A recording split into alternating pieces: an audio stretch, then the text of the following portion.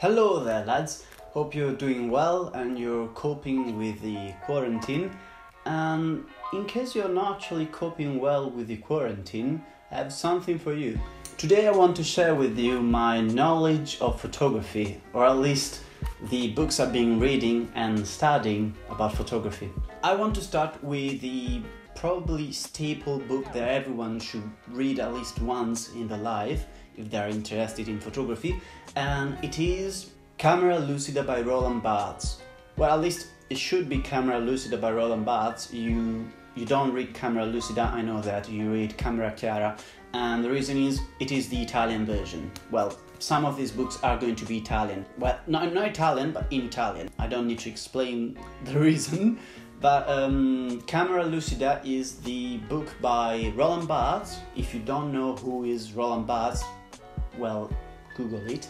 But Roland Barthes is one of the most important photographers, uh, philosophers, poets, theatrists, whatever you want to call him, from France, basically. And probably not the most important photographer, because it, it, would probably be Cartier-Bresson, uh, but it's one of them, one of the most important.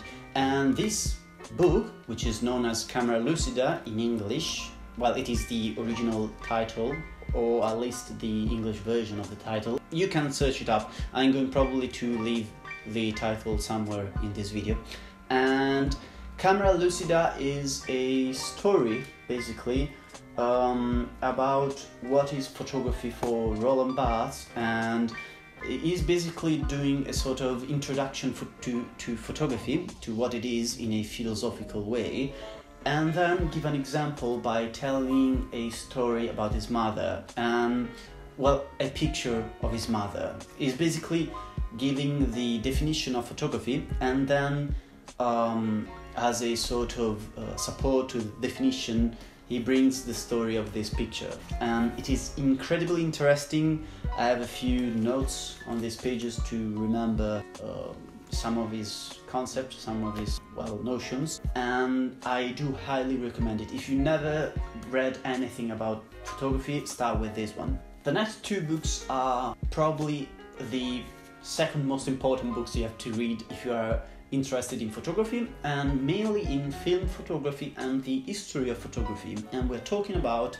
these two lads. Well, the first one, the green one, is Ansel Adams' The Film, and you don't read film, again, you read Il Negativo because it is the Italian version. Um, it was a present from my parents during Christmas, and so obviously I have the Italian version, but you can find the English version on Amazon. It is kind of, I think it's actually not very expensive. The rigid version it's quite expensive. It's probably around 60 euros or 50 pounds, and the not rigid version which I can't remember how do you call it. I don't, remember. Uh, the flexible one. Uh, actually quite quite cheap. You can buy it for 20 pounds or 30 euros, something like that. So highly recommend it.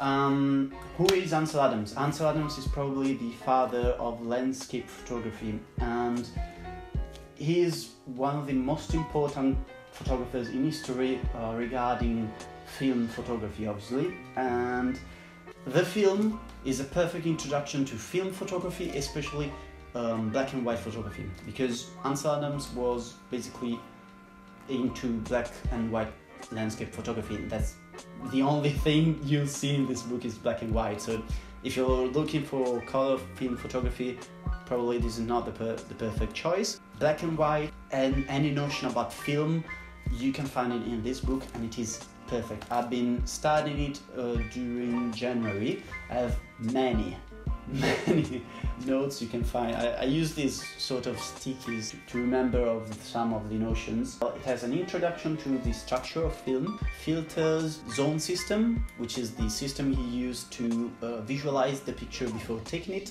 flash, studio photography, and developing. The third one is a Italian book. I'm sorry, again, um, this one I don't think you can actually find it uh, anywhere else, unfortunately. Um, so the first two are normal books you can find anywhere. This one is Walter Guadagnini, History of Photography. Um, this book is actually a university book from the University of Bologna, um, Faculty of Photography, obviously, and it's actually not faculty, it's more of a course of photography. And it is a perfect way to study history of photography. Um, I'm going to leave a title to another book, which is an English book and it has been compared to this one. Um, I can't remember the title right now, uh, but it is a perfect second choice. So if you don't know Italian, go with the title that I'm going to leave here. If you're Italian and you're watching this video, thank you for being here. Um, buy this one. I'm, I'm, I'm serious. Like Walter Guadagnini is an incredible teacher, and this book is seriously gorgeous. Before getting to what I'm actually reading now nowadays during this quarantine, I want to give a small shout out to this book, which is this one. Um, it is known as The Hollow of the Hand, and it is a collaboration between ha- Harvey and Murphy. Uh, she, Seamus Murphy is a photographer and PJ Harvey is a poet. It is one of those books which have a collaboration between a poet and a photographer the pictures in this book are coming from uh, some journeys of Murphy, and especially from Kosovo, Afghanistan, and Washington D.C. So basically, Murphy is comparing Washington D.C., the suburbs of Washington D.C., to Afghanistan and Kosovo. If you don't know um, what is going what is going on in these places, Afghanistan and Kosovo have, have been uh, war zones for basically the last 30 years. And now we get to what I'm actually reading and what I'm supposed to be reading in the next few weeks. I am currently reading Susan Sontag on photography. It is known as the most important essay about photography. Susan Sontag on photography is the perfect book to, to read and study after you've been reading about the history of photography because she mentions many photographers and many events coming from the history of photography which you can't really pick up if you don't know about them. So I highly suggest to first find a history book about uh, photography and then get to on photography. It is incredibly interesting. It is also a little bit heavy. Um, I have to be honest. Uh, I find this book quite difficult to like finish in a few days. I've been I've been reading this book basically 15 pages a day because every chapter is incredibly dense of notions and philosophical thought. So mind that. The next three books I don't actually have much to say because I didn't read them yet. We start with August Sander, Face of Our Time. This is not actually a real book. This is more a sort of a small collection of pictures from face of our time. August Sander is one of the most important German photographers and his main masterpiece is well, Face of Our Time. Face of Our Time is a project. It was intended to basically represent the entire German society during the 20s and 30s and 40s or something like that.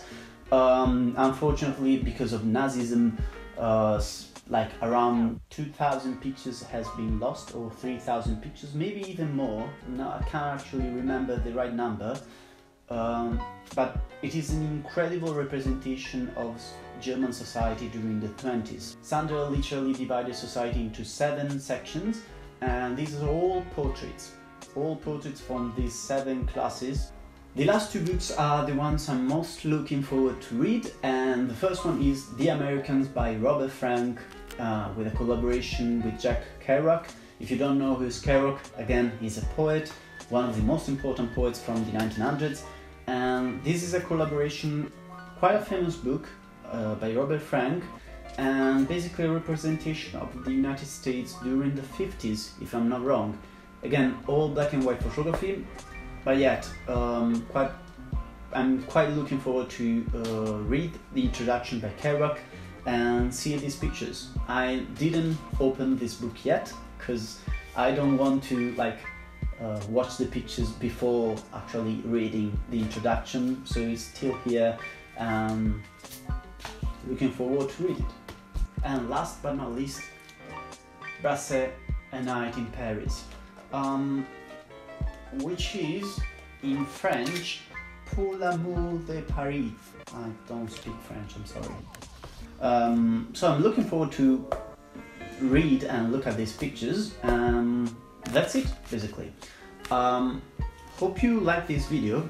Hope you subscribe.